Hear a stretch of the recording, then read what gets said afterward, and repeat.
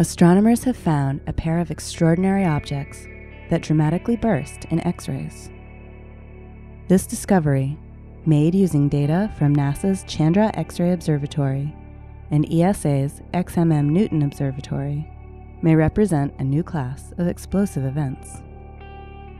The mysterious sources flare up and become about 100 times brighter in X rays in less than a minute, before returning to the original X ray levels after about an hour. One of the sources, located near and presumably associated with the galaxy NGC 4636 at a distance of 47 million light years, was observed to flare once. Five flares were detected from the other source, which is located near the galaxy NGC 5128 at a distance of 12 million light years.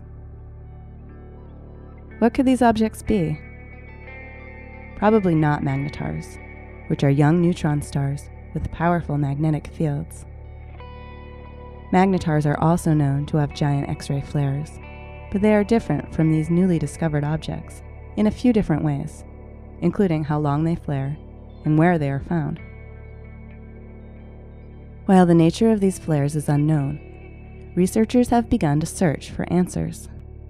One idea is that the flares represent episodes when matter being pulled away from a companion star falls rapidly onto a black hole or neutron star. This could happen when the companion makes its closest approach to the compact object in an eccentric orbit. Another explanation could involve matter falling onto an intermediate mass black hole, with a mass of about 800 times that of the Sun for one source and 80 times that of the Sun for the other. These new flaring objects will likely keep both observational and theoretical astrophysicists busy for quite some time.